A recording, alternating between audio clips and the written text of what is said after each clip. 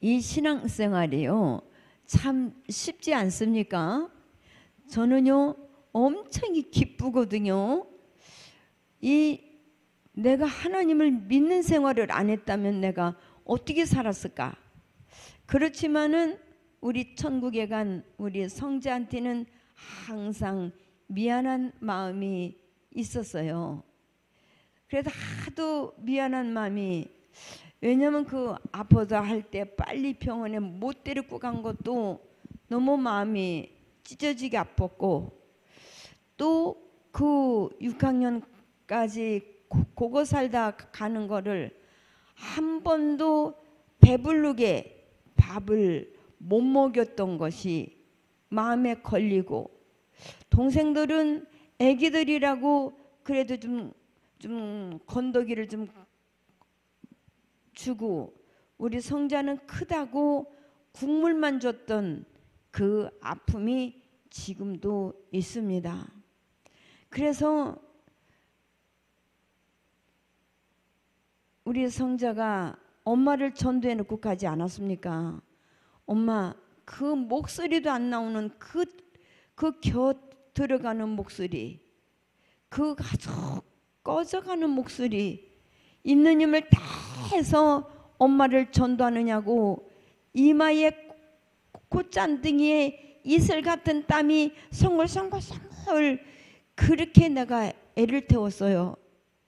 엄마가 교회를 간다라는 확신을 받으려고 한 소리를 또 하고 또 하고 있는 힘을 다해서 엄마 이렇게 한번 불러놓고 힘을 또 모았는지 약속해 또 힘을 모았는지 천국에서 만나 들릴 동말 동안 천국에서 만나자고 그런 우리기가 임종식까지 엄마를 끝까지 전도해 놓고 갔습니다. 그래서 저는 지금 어떠한 중심으로 사냐면 우리 성, 성자가 숨을 거두면서까지 엄마를 전도하지 않았는가? 그렇다면 나는 지금 멀쩡하니까 더 전도를 열심히 하자. 정말로 전도를 열심히 하자. 그런 마음으로 그런 믿음으로 전도하고 있습니다. 역전에서도 터미널에서도 그저 어디까지 가세요? 어디 어디까지 간다고? 아줌마는 어디까지 가요? 나는 서울까지 가요. 그러면서 내 가방에는 항상 간식이 있어요. 아이고 이거 피로회복제인데 하나 잡수실래요? 아이고 먹어도 돼요? 예 잡수세요. 나 하나 까놓고 이렇게 하나 드리면은요. 그러면서 대화가 이루어지는 거예요. 우리 집에는 항상 건빵하고 바카스가 준비가 돼 있어요. 우리 집은 택배를 많이 보내니까 김치를 다 담아서 택배로 많이 서울로 어디로 막 파니까 저는 돈을 벌어야 돼. 할렐루야. 제가 선교생을 37년을 하면서 누구 보고 선교비 좀 한번 도와달라고. 아우 지금 서, 선교사가 얼마 얼마를 보내라고 했는데 지금 내가 돈이 모질르다고 한 번도 안 해봤어요. 누구에게 도움을 한 번도 청해 본 일이 없습니다. 그저 바울 선생님의 서신서를 읽고 제가 선교를 시작을 했기 때문에 그저 그 바울 선생님이 일을 하면서 천막을 치면서 그렇게 전도를 했기 때문에 선교를 했기 때문에 저도 그런 마음으로 하고 있습니다. 그렇기 때문에 저는 돈을 열심히 벌어야 돼요. 그래서 쑥도 임절미도 봄에 쑥을 뜯어가지고 쑥을 많이 넣으면요 방앗간에서 기계 버린다고 잘 안 해주려고 그래요. 만 원 한 장만 더 주면요 얼마나 임절미를 쑥을 많이 넣어가지고 그렇게 맛있게 맹글어 주는지 그렇게 가지고 얼려 가지고 택배료도 보내고 또 떡을 만드는 날은 또 직접 또 가, 가실러도 오고 그렇게 가지고 저는 수입을 잡아야 합니다. 그래서 선교사를 한 번도 궁하게 해본 적이 없어요. 얼마 얼마 보내세요. 지금 이렇게 이렇게 돼가고 있습니다. 늘 늘 보고를 하니까 우리 부지런하게 삽시다. 오늘 제가 이 식당으로 밥 먹으러 가면서 저 문짝으로 바깥이 좀 봤어. 그 소- 손바닥 많은 그, 그 바닥에 그 풀이 뭐여 그게 누가 좀 깨끗이 좀 메고 그, 그런 공터에다가 좀 모래도 좀 심어서 좀 먹고 그렇게 하셔야지. 여기 한번 지- 지하에 갈 때 한번 봐봐요. 바깥이가 얼마나 지, 지꺼분한지. 그냥 내가 먼저 할렐루야. 내가 먼저 합시다. 내가 먼저. 우리 교회도 이제 지금은 이제 시내가 저렇게 돼서 그렇지 옛날에는 시골이었잖아요. 우리는요 풀을요 구경을 할래야 풀 구경할 새가 없었어. 이 이 벙어리가 하도 풀만 나면 매고 깨끗이 해놨고 그리고 그그 교회 마당을 논에 가가지고 차흙을 파다가 반죽을 해가지고요 손바닥으로 문질렀어요 손바닥으로. 한참 무질 교회 마당을 손바닥으로 문질르다가 보니까 뭐가 뿔긋뿔긋한 게 있어. 어, 흙에도 파- 빨간 흙이 있었네 그리고 자꾸 하니까 더 진해져서 손바닥을 봤더니 맥질하다 내 손바닥이 달아가지고 손바닥에서 피가 났었습니다 우리는 하나님 일을 내가 먼저 합시다. 내가 열심히 합시다. 누구에게 밀을 것도 없어. 그냥 요 손바닥만한디 그거 보니까는 그냥 그렇게 하고 그런데 그냥 묵히지 말고 봉숭아라도 쫙 시- 심어봐. 얼마나 이쁜 줄 알아요? 이 봉숭아라도 분꽃나무라도 갖다 쫙 심어보면 신기합니다. 얼마나 이쁜지. 우리 교회는 이 교회에서 이 큰 길가까지 좀 거리가 있었어요. 그러면 제가 거, 거기를 다 괭이로 읽어가지고 국화 한 줄, 그리고 봉숭아꽃 한 줄, 또 코스모스 한 줄 쫙 심어 놓으면요, 교회 장로님이요, 그걸 다 뽑고서 거기다 콩을 심어. 그럼 내가 또 어떻게 콩을 다 또 캔에 불고 또 심지. 그렇게 아주 그냥 교회를 예쁘게 꾸미고 싶어가지고 그래서 지나가던 분들도 쉬는 부부들도 꽃이 너무 이쁘게 펴가지고요 차를 세워놓고 촬영을 하고 갔어요. 우리 부지런합시다. 열심히 합시다. 최선을 다합시다. 그리고 저는 이제 불을 끄는 그런 은사가 있어요. 그냥 어, 디 보, 예, 예배만 마치면 벗어나는 스위치를 가서 불 탁탁탁탁 끄는 거예요. 애끼려고 할렐루야. 애끼려고 애끼려고. 우리는 신앙 생활을 아주 기쁘게 합시다. 맛있게 합시다. 보람 있게 합시다. 신기하지 않습니까? 우리가 어떻게 교회에 앉아 있는지 이것만도 천국이 아니겠습니까? 우리는 교회에 나와 앉아 있는 것만도 우리는 행복하고 얼마나 그 기쁜지요. 우리 기도는 아직도 지하에 있어요. 아직도 지하라서 예, 우리 원장님들이 이제 저희 기도원에 오면은 아이고 지금도 기도원이 지하요.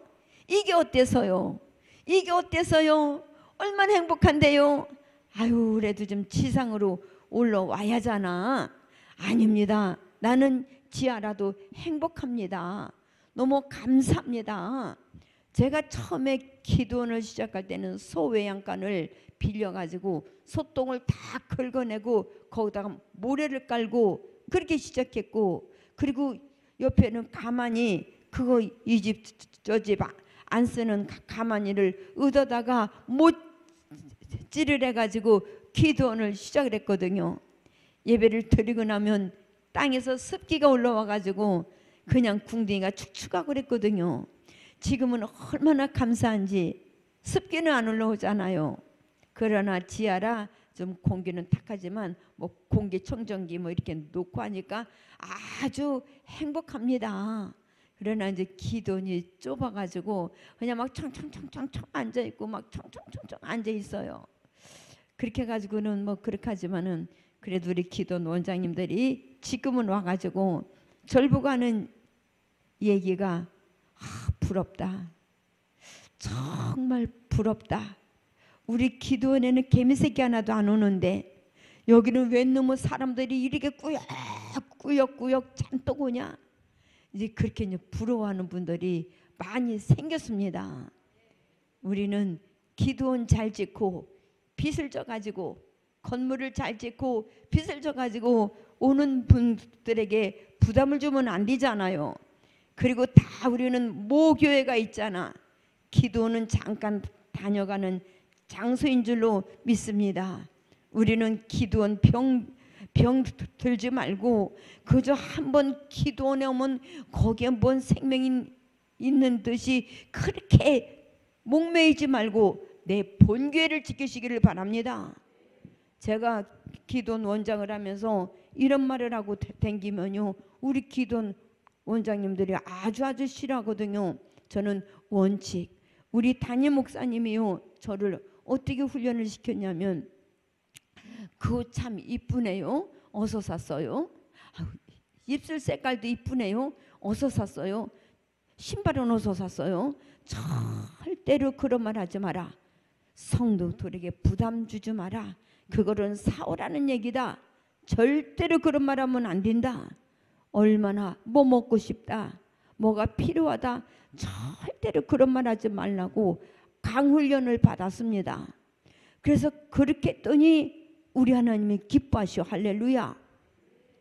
그리고 오늘까지 제가 이 37년이라는 세월을 기도를 운영한 거는 어느 때는 우리 목사님한테 따끔하니 눈물 날 정도로 혼나기도 했고 어느 때는 감당할 수 없는 경고도 받았고 어느 때는 권면도 받았고 어느 때는 그 모지락스러운 책망을 받았기에 오늘 이렇게 제가 서 있는 줄로 믿습니다. 그거 그렇게 하면 안 돼요. 설교하지 말라고 간증만 하라고 막그 어? 간증 다 해도 죽을 때까지 못하고 죽을 건디 어째서 성경 알지도 못하면서 설교를 하고 있냐 앉아 있냐고 얼마나 혼났는지 그 이후로 제가 설교하지 않습니다. 우리는 저는 목사님의 책망으로 이만큼 서 있습니다. 우리 성도님들이요. 목사님의 책망에 생명이 있고 목사님의 권면의 진리가 있고 목사님의 지적에 우리 살 길인 줄로 믿으시기를 바랍니다. 얼마나 혼날 때는 눈물이 쑥 빠지고 내키고 그저 귀 뚫고 들을 수 없는 그 책망, 그 경고장 엄청난 그런 일도 있었지만은 저는 주, 주의 음성이라 항상 믿고 살았어요. 목사님의 저 책망은 주님이 나를 책망하시는 거라. 목사님이 권면하시면 주께서 목사님을 통해서 이렇게 권면하시는구나. 그렇게 살았습니다. 우리 그렇게 삽시다. 우리는 목사님의 설교가 조금 마음에 안 든다고 우리는 시험에 들지 말고 마음에 안 드는 설교가 나의 살 길인 줄로 믿습니다. 목사님의 설교가 내 귀에 거슬르거든. 아, 내가 영적으로 성장이 안 됐구나.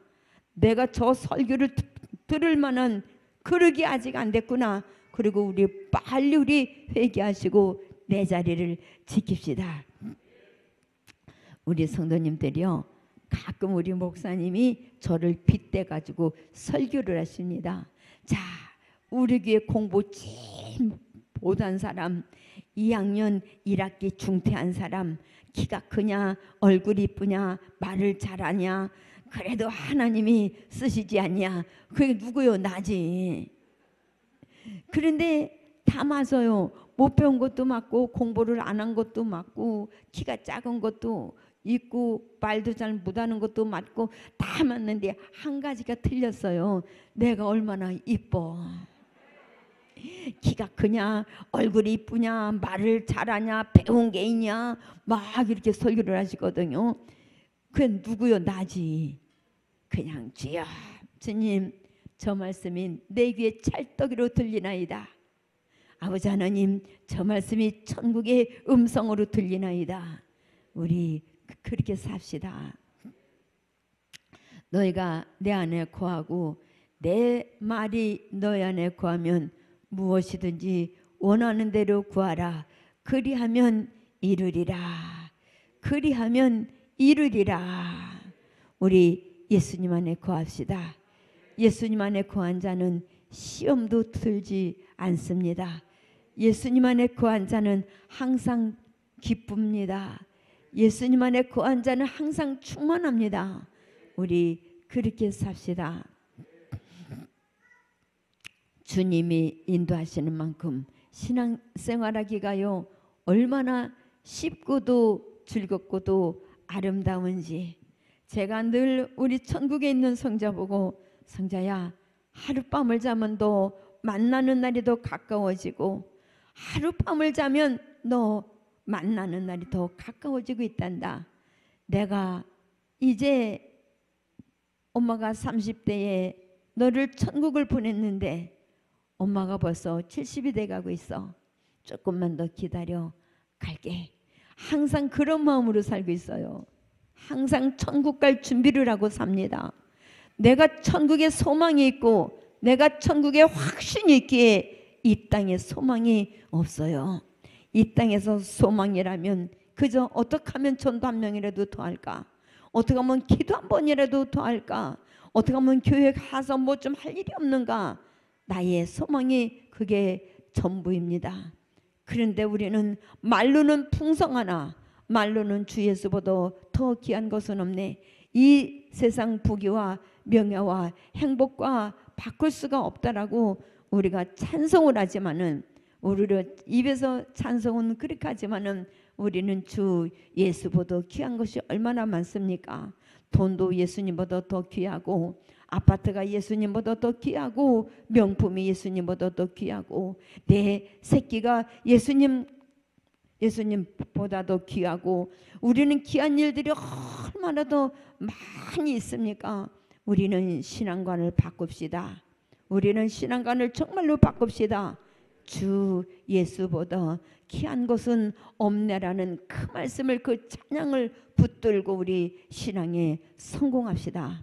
우리는 신앙에 실패하지 말고 신앙 안에서 승리요 성공합시다. 제가 이렇게 살고 아마 우리 목사님 사모님이 이 집회에 이 좀 부탁하시려고 저희 기, 도원에 오셨고 하면 저희 방에도 들어오셨었나는 모르겠습니다. 나도 바빠서 그랬는데요. 그냥 사는 거요. 깨끗하게 씻고 닦고만 살고 그냥 그렇게 사는 거예요. 얼마나 편한지 알 수가 없습니다. 우리는 주님 안에 거한 자는 이 땅에 욕심이 없습니다. 우리는 주님 안에 거한 자는 말씀만 붙잡고 삽니다. 우리는 주님 안에 사는 자 너희가 내 안에 거하고 너희들이 내 품 안에 거하고 너희들이 내 심령 안에 거하고 너희들이 십자가 안에 거하고 너희들이 보혈의 피 안에 거하고 너희들이 십자가만 붙잡고 산다면 너희들이 무엇이든지 구하라 그리하면 응답하리라. 우리의 성도님들이요 주 안에서 우리 삽시다. 예수님 안에서 우리 삽시다. 남의 집 돈 많다고 부러워할 거 없습니다. 그 집도 고민과 걱정이 있어. 없는 사, 람들도 고민과 걱정하는 거는 똑같이 있습니다. 그냥 있는 만큼만 살아. 그냥 100원 있으면 100원 그 안에서 살고 행복하면 되는 거고 말라고 1억 짜리를 쳐다보고 시험 들어 그리고 왜 남편을 박박 긁어 우리는 언제나 저 큰 평수로 이사하냐고 작은 평수에서 흥부처럼 살면 되는 거요. 큰 평수에서 놀부처럼 살면 안 돼요. 그냥 있는 그만큼 그 안에서 행복하고 기도하고 찬양하면 되는 거요. 아파트에서 기도 소리, 찬송 소리가 안 나와도 천막에서 찬송과 기도 소리가 나오면 그게도 행복한 겁니다. 우리는 행복을 찾고 우리는 축복을 찾고 우리 하나님이 그렇게 주시면 주시는 만큼에서 감사히 사는 거예요. 이제 신앙 생활을 합니다.